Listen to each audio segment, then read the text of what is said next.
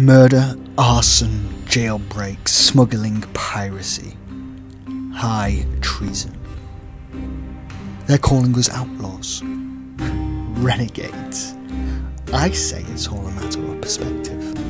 I say they don't know the whole story. My name is Penny Daulton.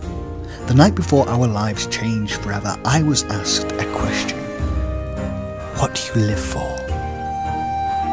I didn't have an answer then, but I do now.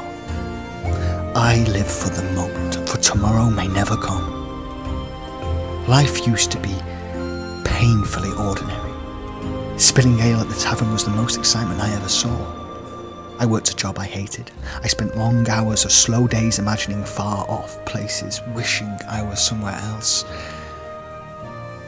I didn't know the first thing about adventure. Everything changed the night I saw her for the first time. Destiny didn't bother knocking at the door, no. It came crashing through, turning our lives upside down before burning it all to the ground. Destiny, indeed. The least it could have done was let us know it was coming. Every story has a beginning.